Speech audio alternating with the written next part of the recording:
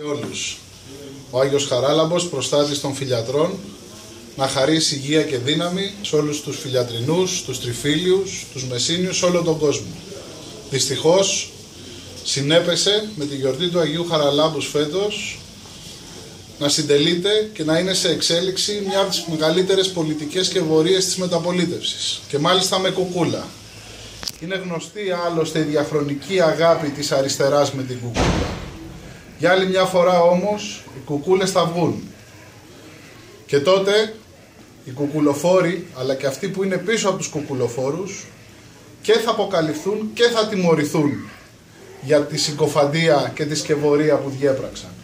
Να γνωρίσουν όλοι ότι η δημοκρατία είναι πολύ πιο ισχυρή από τον αριστερόστροφο φασισμό. Και για άλλη μια φορά θα κερδίσει η δημοκρατία ενώνοντας όλες τις Ελληνίδες και όλους τους Έλληνες. Χρόνια πολλά σε όλους.